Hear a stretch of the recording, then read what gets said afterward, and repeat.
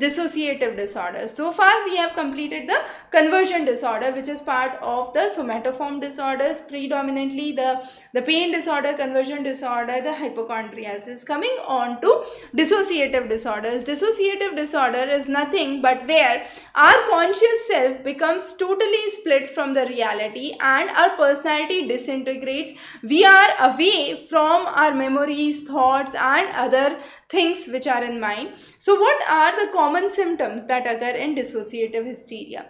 The first thing is loss of memory, amnesia. As we said under dissociative disorder, three important criteria. Dissociative amnesia, dissociative identity disorder and depersonalization, derealization disorder. So here in dissociative amnesia, there is loss of part or whole of the memory. What does that mean? Uh, the person loses specific context. Let's say I remember everything about my past but just one specific person I don't have any memory about. So that is a loss of part or the whole of the past memory related to a certain phenomena. Sometimes you just deny that is depersonalization. You don't want to accept that part of your life and that's what is denial of reality. The next is dreamlike state where a person goes into a state of fantasy uh, and that is intense levels of fantasy. Uh, multiple personalities under dissociative identity disorder which is also called as split personality. There can be also signs of confusions, uh, delusions or headache which can be witnessed. So that's some of the common symptoms which pertain to dissociative hysteria. As we said, dissociative hysteria is relatively serious in contrast to the conversion, conversion hysteria. Now, dissociative hysteria, how it can be treated? By adjustments in life, that's the first thing that you need to understand.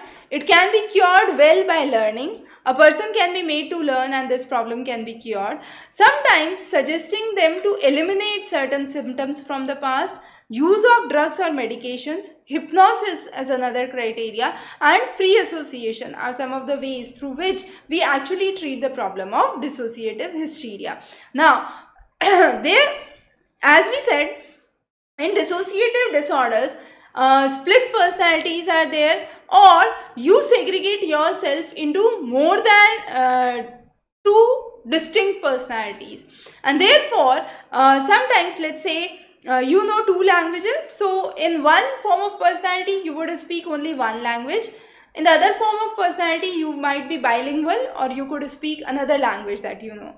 Also, the one person who is speaking one language would not know that he behaved in that way uh, probably in the other phase of the personality. It can also be a case that let's say you are bilingual, you know um, English and one other regional language. So when you are speaking English, you could probably behave like a, a, a Englishman, a Britisher, uh, have that accent and have that way of uh, lifestyle and that part is totally untouched with the other part of you which is probably a normal uh, people who is bilingual and others who speak English.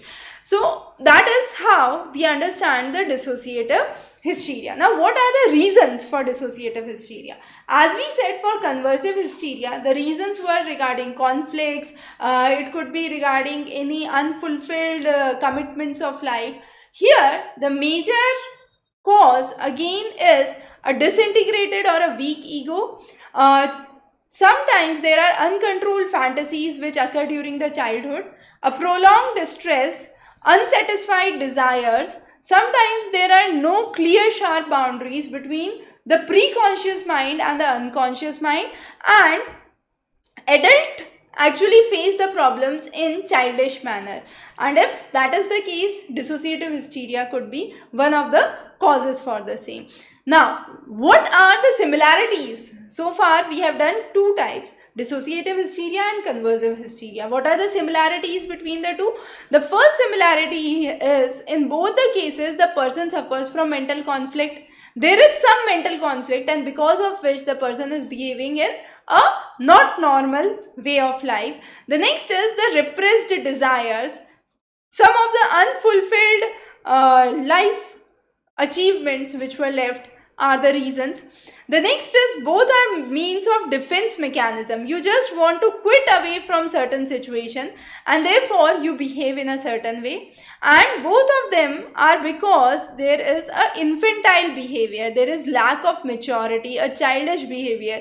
The person won't understand the consequences to oneself, consequences to the family, but just behave because a, what a child does, a child just behaves and does not know the consequences of it. Similarly, here again the person suffers from an infantile behavior. The person would not understand that I would be given unnecessary medications, unnecessary treatments which are not good for me, which are not good for my family well-being. But just being a childish feeling, the person would continue to do so. So those are the similarities. So four common similarities between conversive hysteria and uh, dissociative hysteria. Now coming on to the differences.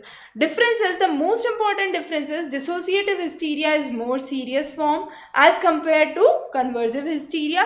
Here the patient is not conscious for a given part of their life because the person believes the other part is doing it and the other part is non, not known by the first part. So the first there, there is a split personality. So this person does not know what this person is doing and the, the other person does not know what this person is doing. So the person is not conscious of the act and therefore it is serious. Conversive hysteria is relatively less serious and uh, as we mentioned their organic uh, uh, symptoms are seen without organic reasons. Without pathological findings pathological symptoms are seen so that's the main difference there